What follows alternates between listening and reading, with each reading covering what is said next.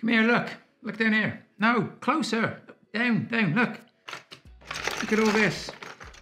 You know, it's not always been 3D printing in grey plastic. Back in the day, it used to be metal and, um, well, in some cases, lead, but we won't talk about that. But yes, many moons ago, when I was a little boy and uh, everything was in black and white, we spent many hours painting these and uh, watching the paint then chip off. And so, in a new ongoing series that, well, to be honest, no one's really asked for, I'm going to take one of these metal miniatures, paint them up, and give them a new home. And we have a baked bean tin. Hello, everybody. First off, health and safety. As you can see, I've not taken any of that into account. If you do copy this, please do be careful. Here's the obligatory frame. Rip that apart. Okay, we need to measure out some foam now. You'll see why later. So there's me measuring. Look, I can count up to 10 on a good day. With the lines measured, I can use some sort of scribing tool to draw these lines and start creating a brick effect.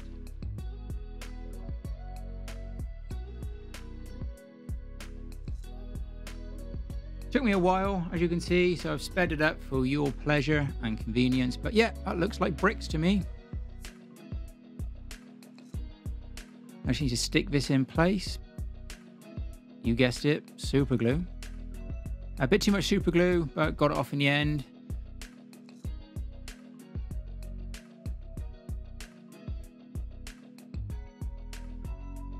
Okay, now we need to mark up the hole. Cut this through. Nice little pizza there, it's making me hungry. I think that's tea tonight. Pineapple on pizza? More of a sort of a pepperoni and cheese man myself, but hey, that's one for another video.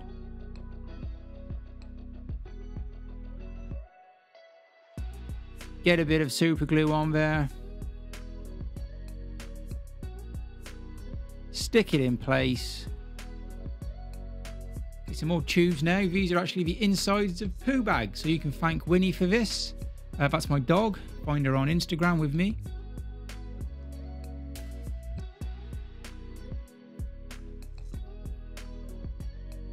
Spaghetti, just like the mama used to make. Uh, I split this up, ripped it apart, broke it up into little bits, and super glued it in place. I'm hoping when painted, this will look like pipes, but hey, let's see. More super glue now. I'm outside in the fresh air. Oof. Sprinkle a bit of dirt on and down below. Make it look like it's a nice grimy sewer effect on this uh, on this pipe.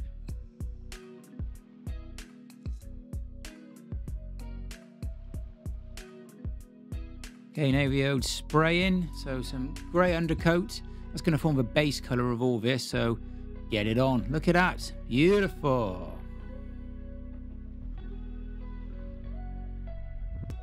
Aha, this is the miniature in question. So it's an old metal miniature from the Games Workshop range, and it's the Rat Assassin. Right, so quick paint interlude here. So base coat of white, and then I just painted it. So here we go. Chill out, watch me paint the back of a cloak, which you'll never see when it's in the diorama because it's facing away from us into a wall. And there it is. Not the best job I've ever done, but not the worst, so he'll do. Or she.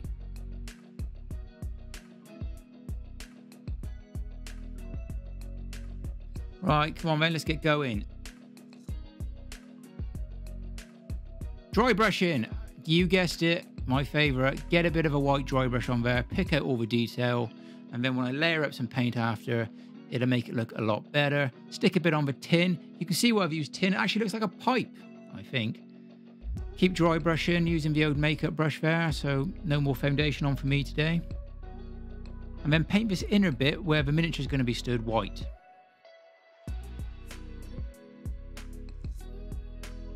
Okay, and now we're on to painting the bricks.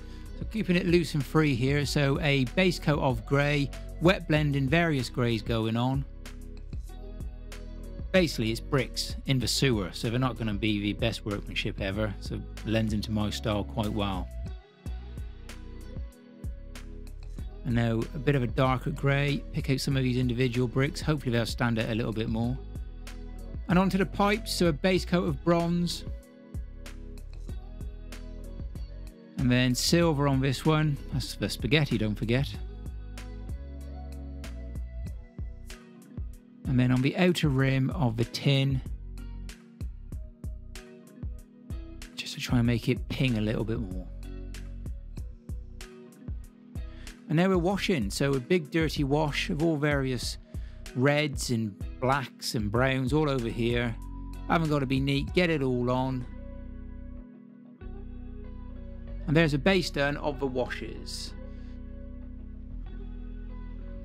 Now we're going to go into a bit more detail. So a light watered down brown here over the dirt. Dabbing it in, picking it out. We haven't got to be too neat.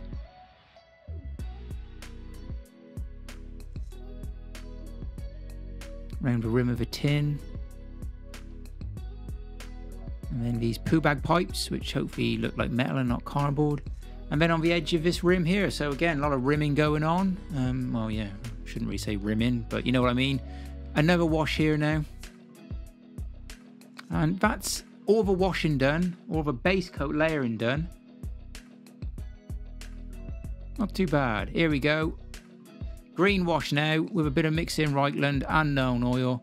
Get this all over the bricks. We haven't got to be neat. Mix it all in. This is why I was never a bricklayer. And again, all the base washes are pretty much done now, just a bit more black in there.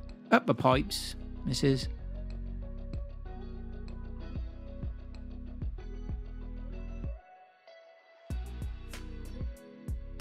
Over the metallics now, try and delve them down a bit. We don't want to stand out too much.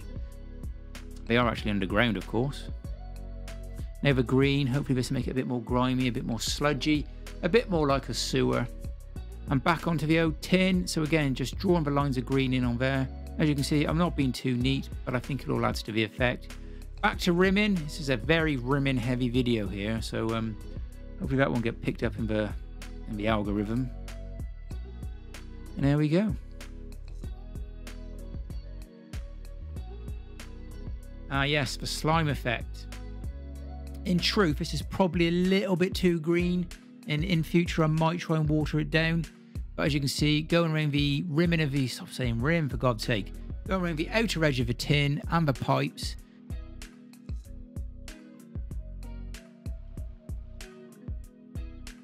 Now a quick dry brush once everything's dry. On the outer edge of the tin again.